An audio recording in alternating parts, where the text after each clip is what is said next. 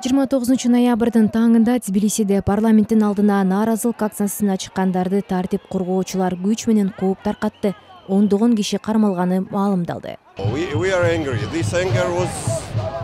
биз абдан ачууланып жатабыз. Каарданган эл бүгүн көчөгө чыкты бийлик биздин тарыхыбызга акыркы отуз жылдагы керек болсо соңку жүз жылдагы жетишкендиктерибиздин баардыгын чекит коюуну чечти алар бүгүн баарын жок кылышты бирок биз буга жол бербейбиз. Биз мындан ары үн катпай тура албайбыз. Бүгүн биз ким экенибизди кайда бараарыбызды чечишибиз керек. Грузия евробиримдиктин мүчөлүгүнө кирүү боюнча сүйлөшүүлөргө эки миң жыйырма сегизинчи жылдын аягына чейин барбай турганын бейшембиде өлкөнүн премьер министри ираклий кабахидзе билдирген. Өкмөттүн бул чечимине нааразы болгон миңдеген киши баш калаада чогулган эле. Маалыматка караганда полициянын ыкчам аракеттенүүчү күчтөрү демонстранттарга каршы желим ок чогулгандарды жана айрым журналисттерди уруп сабаган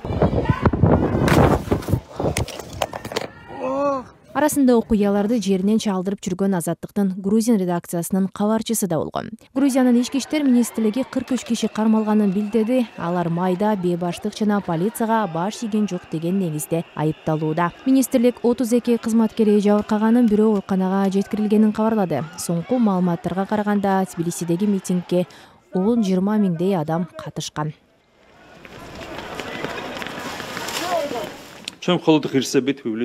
биз евробиримдиктин мүчөлүгүнө кирүү боюнча сүйлөшүүлөргө эки миң жыйырма сегизинчи жылдын аягына чейин барбай туруу чечимин кабыл алдык.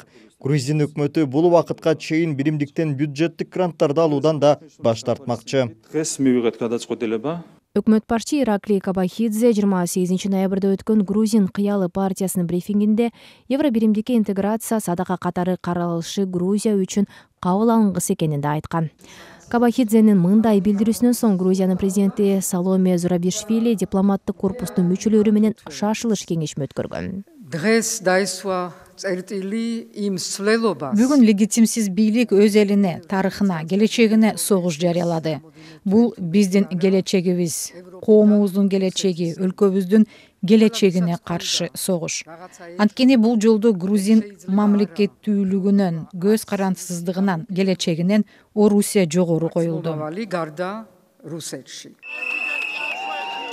нааразылык акциясына президент саломе зурабишвили да катышты евро шаркетке кошулууга умтулуп жаткан грузия былтыр талапкер деген макам алган еврокеңеш быйыл октябрь айында грузиянын евро биримдикке кошулуу жарыяны өлкөнү башкарып жаткан грузин кыялы партиясынын саясатынан улам дээрлик токтотулганын жарыялаган анын ичинде тбилиси чет өлкөлүк агент мыйзамынын кабылданышы жана лгбтны жарыялоого тыюу салуу аракети катуу сынга алынган президент жана оппозиция бир ай мурун болгон парламенттик шайлоо башкаруудагы грузин кыялы партиясынын пайдасына бурмаланганын айтып анын легитимдүүлүгүн тааныган эмес.